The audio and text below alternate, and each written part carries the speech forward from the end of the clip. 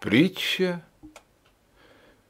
курицы и ласточки, читает Павел Беседин. Однажды ласточки, летя на юг, присели отдохнуть на дерево, под которым находился курятник. Ласточки начали обсуждать между собой, как хорошо на юге, там как здорово, и этими беседами заслушалась одна курица. Она долго слушала дивные рассказы ласточек, и, когда те упорхнули, она подумала, тоже хочу на юг. Было бы здорово побывать там. Чем я хуже других? Вроде крылья на месте, перья есть, и все как надо. Тогда она твердо решила лететь на юг. Все куры собрались, организовалась огромная группа поддержки. Каждая курица пыталась дать дельный совет, так сказать, подбодрить. Ведь такого в их истории еще не было.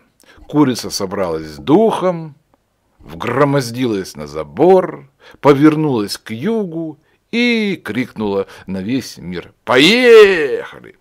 И, поймав попутный ветер, полетела, что есть сил – она очень сильно хотела попасть на юг, поэтому она вся отдалась полету.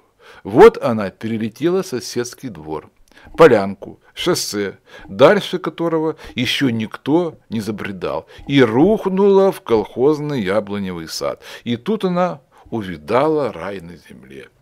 Тенистые раскидистые яблони, сочные яблоки, валявшиеся повсюду, пугало, и даже она увидела сторожа. Вернувшись, она днями с упоением рассказывала, как было дело, другим курам. И вот стая ласточек снова присела на дерево, и ласточки вновь заговорили о юге. Но теперь куры уже не молчали, как обычно. Когда они услышали о море, скалах и песке, то сказали, погодите, погодите, какие скалы, какой песок, что вы несете, вот у нас есть свой куриный авторитет. И знаменит, знаменитая летчица начала сознанием дела, полуприкрыв глаза, рассказывать о шоссе, о саде, о яблоках и о стороже. Вот так, сказали куры. Вот он, какой юг-то.